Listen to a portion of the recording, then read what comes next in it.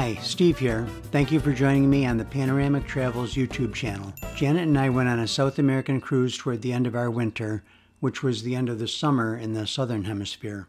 This video is the first in a three-part series. This video will cover our time on the Viking Jupiter. It will include the ship itself, the crew, the onboard entertainment, the lectures, activities, and of course the food. The second video will cover the 18-day cruise from Valparaiso, Chile to Buenos Aires, Argentina, and visiting the Falkland Islands and Uruguay along the way. The video will include glaciers, mountains, Chilean fjords, three different penguin colonies, Ushuaia, the southernmost city in the world, sailing around Cape Horn, and the Iguazu Falls. And finally, the third video will cover the post-cruise extension, the gateway to Patagonia.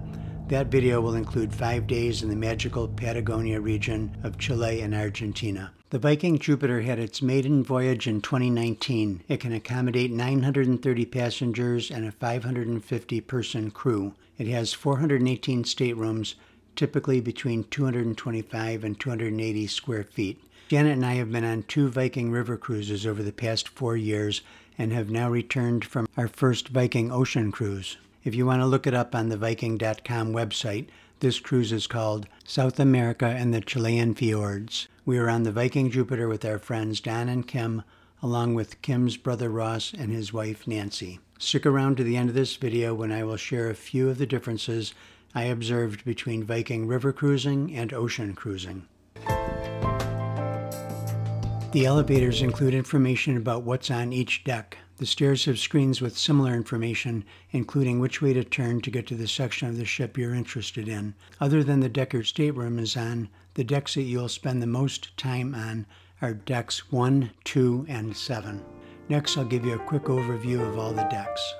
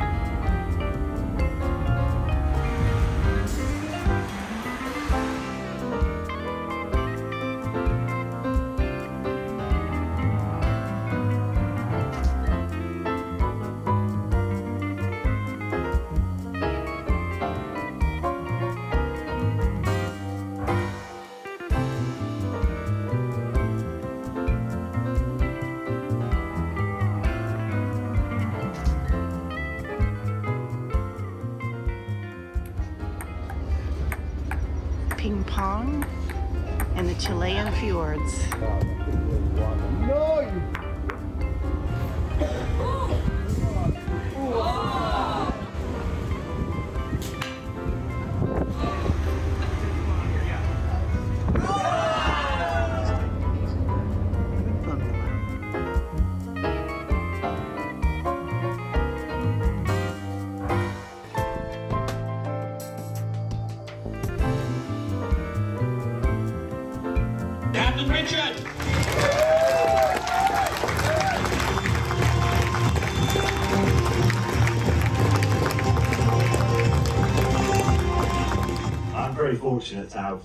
Best senior management team on the high seas.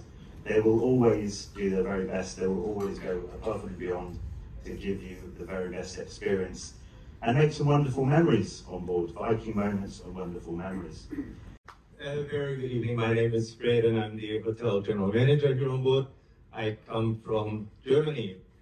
Most of the times you will find me up on pool deck sipping cocktails. because with this great hotel team, my life is very easy here on board. Welcome on board. Good evening, everyone. My name is Danesh. I'm from India and I'm the executive chef on, on board and welcome you all. Good evening, everyone. My name is Yuri. I'm your restaurant manager on board. And I'm uh, from Ukraine. And of course, I'm the person in charge of making sure you're thoroughly entertained throughout the course of the voyage. So if there is anything that myself or my team can do for you, please don't hesitate to ask. But uh, Captain, I think it's now time we charge a glass uh, to our Viking family. That's all of our guests and all of our crew. And uh, in typical, here we go, that one to you there, sir. And in typical Viking style, we'll finish with a skål. Ladies and gentlemen, please raise those glasses. May the only pain in your life be champagne. Skål! My top tip is this. This is the front of the ship, and that is the back of the ship. And it stays that way throughout the duration of the voyage. Yes. Oh, thank you. Everyone, welcome again on board your new home away from home. I know your wonderful Viking family are going to treat you to some fantastic Viking moments. I know the crew are going to blow you away. Uh, we really do look forward to having you here uh, and welcoming you into our home.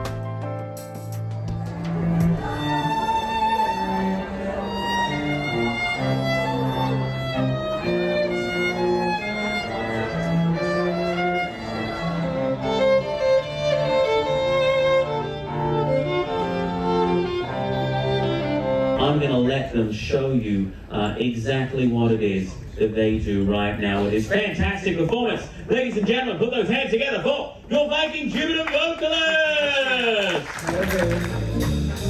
I'm in heaven, and my heart so that I can hardly speak. And I seem to find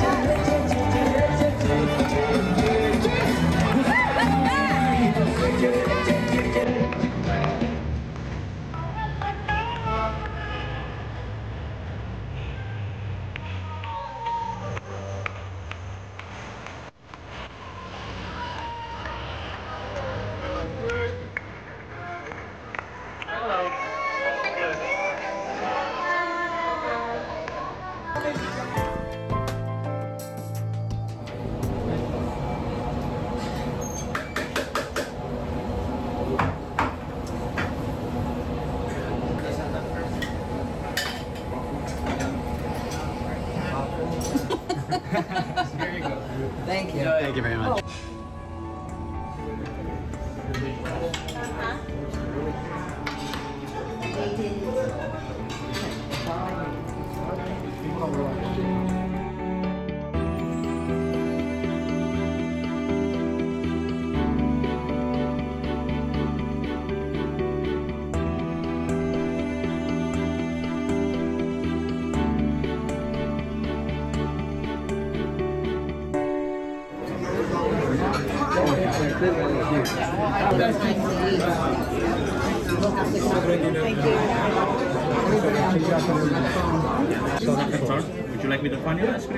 You can see the penguin swimming.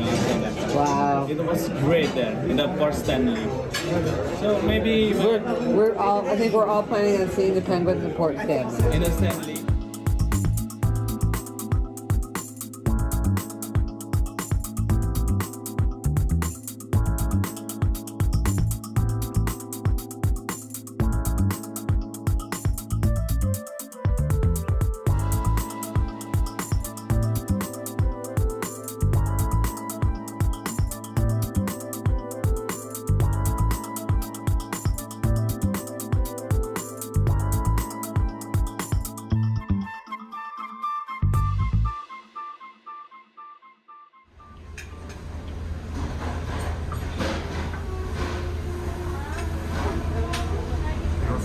Thank you very much. They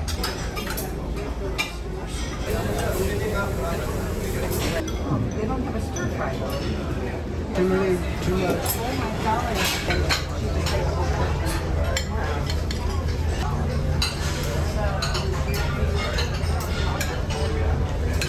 It looks delicious. See you for dinner in a restaurant, yeah. Yeah.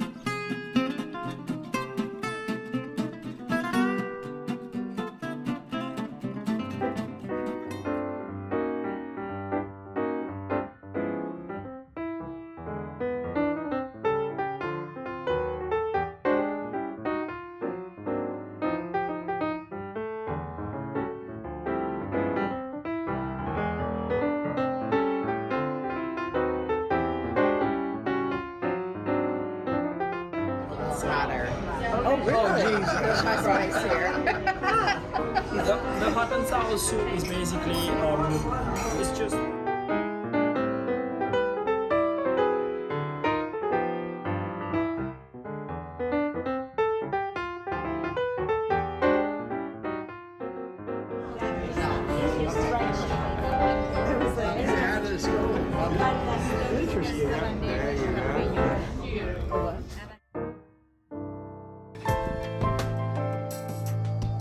just glitz and glamour that we provide throughout the course uh, of the cruise to keep you entertained, uh, because we also feature entertainment of a more scholastic nature. Uh, ladies and gentlemen, I am blessed to have on board a team of distinguished guest speakers and instructors, some minds of note, brought from all over the world to further immerse you in the history, the heritage, and the culture of our destinations. And I want to introduce them to you all right now. Please put those hands together as they do make their way to the stage. All right, well, up first, I do have your Viking resident historian. It's Dr. Robert. I'm Bob Sutton. I um, actually am from the United States. I was I retired several years ago as the chief historian for the National Park Service, and in that position, I learned a lot about history, and I hope to share some of it with you. And now we have a great guest lecturer. It is the amazing Howard. Good evening, everyone. My name is Howard Reutemann. My job is to provide some other context for some of the places we're going to be. So I talked today about the peoples of Chile and Argentina, and I think I'm going to finish up with talking about Eva Peron, uh, Che Guevara, who's from Argentina, and Pope Francis. Up next, we do have your Viking resident astronomer. It's Dr. Paul. Good evening. I'm here to do something totally different than these guys. They've got dead easy history, I don't know, what, 3,000 years? We're going to do 13.8 billion years in 45 minutes. Finally, don't forget, Viking Orion and Viking Jupiter are two incredibly rare ships. We have the planetarium upstairs on deck eight, some wonderful 3D shows, so I hope you will uh, book and have a look at that. So looking forward to meeting you. Thank you very much. Thank you, Dr. Paul. Up next, we do have a lovely workshop host. Uh, it's Vina. Over to you. Hello. Uh, like our captain, I'm another Brit, but I'm also Canadian. I really look forward to uh, being aboard on the Viking and sharing my knowledge with you. Okay, I can see one or two you're going to nudge your neighbors and say, I can't even draw a stick figure, I can't do art. That's not true. The creativity is in the process and not in the product. No one's expecting a masterpiece product from you. What we want you to do is come and have fun. Have a little taster of watercolor and enjoy it. Thank you, Vina. And uh, now, last but not least, it is your guest lecturer. It's Keith. My name is Keith Newington. I'm married to Rita. I am giving some lectures on photography. And photography is one of the latest creative crafts that has been developed since 1820, 1827. Ladies and gentlemen, let's hear it. And uh, keep that round of applause going for your enrichment team as they do make their way the stage. Thank you. You get a really good sense of what a glacier looks like um, when we hopefully get up pretty close to this glacier. Next one, um, Perito Moreno Glacier is um, also, it's not growing, but it's stable. That's very important.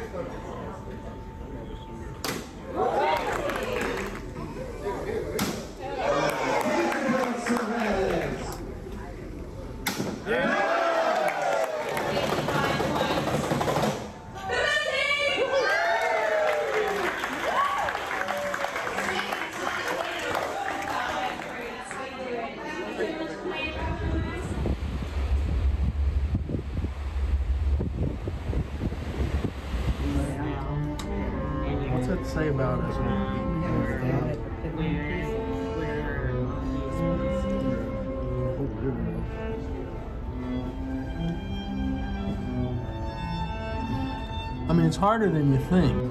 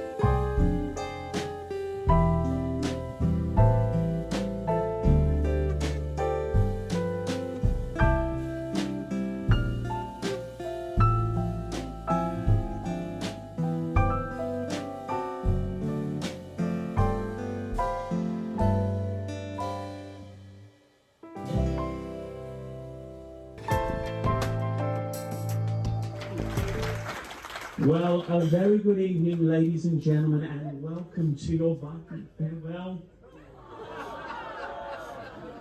Very shortly, you're going to have to start making your own bed. Cooking your own food. I know, I know, I know. But in all seriousness, uh, I do hope you have experienced uh, what we like to call our Viking moments. Uh, I do hope you have had a magnificent cruise here on board the fine ship, the Viking Jupiter. The wonderful thing about travel is that we broaden our horizons, isn't it? When we travel, we meet new people, we experience new things, we explore new destinations, and along the way we make some wonderful memories that we will treasure forever. And at this part of the voyage, I always like to reflect back to the beginning and think of all of the highlights that I've enjoyed during the voyage. So I would say we started off in Valparaiso, we had a beautiful sail out. There were a few bumpy days that I don't want to talk about.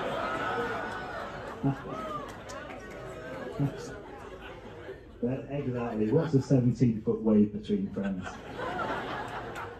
And, uh, and then we went into the Chilean fjords and really enjoyed the, uh, the rugged scenery of the Chilean fjords. And then, of course, we saw a glacier, didn't we? Amalia Glacier. I think for me that was one of my highlights. I've been there a number of times. It never gets old. It's always breathtaking each time we go there. And then we went off and we visited Cape Horn. And we also managed to go 360 degrees all the way around Horn Island. And then, of course, we visited the Falkland Islands. And of course, if you're like me, you love nature and wildlife. And I hope you saw some. Did anybody see any whales? Saw whales? Did you see any seals? Sea lions, or are they the same thing? I don't know. I can never tell the difference, can you? Dolphins. Yeah. Somebody saw dolphins. And of course, there's a plethora of marine birds as well. Did anyone see a penguin? Anyway, this is uh, where I come to the end of my little speech here. Uh, you know, thank you for travelling with us. It's been an absolute pleasure to be your captain. And safe onward travels. Remember, it's never goodbye, it's always farewell. And I look forward to welcoming you all on board again very soon. Thank you very much.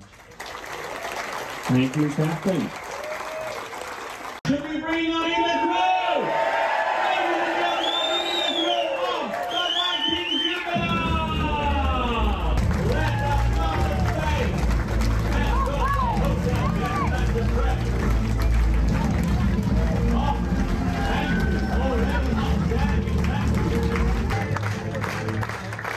As well. There. Uh, crime from the Talks. Ladies and gentlemen, I give you the crew of the Viking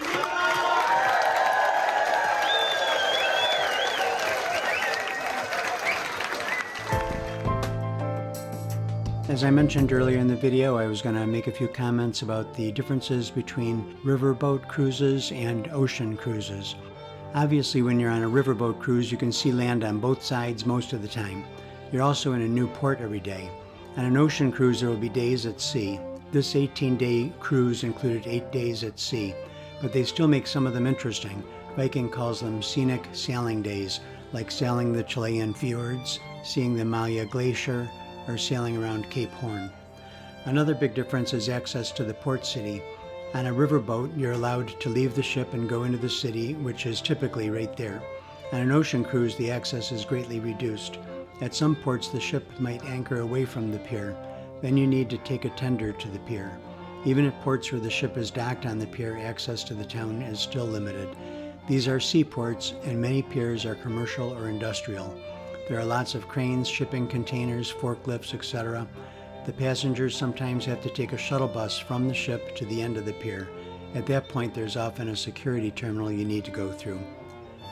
Thanks for watching. Please leave comments about your river or ocean cruise travels or any questions you might have. Please subscribe and click on the notify bell so you'll know when the next videos are available.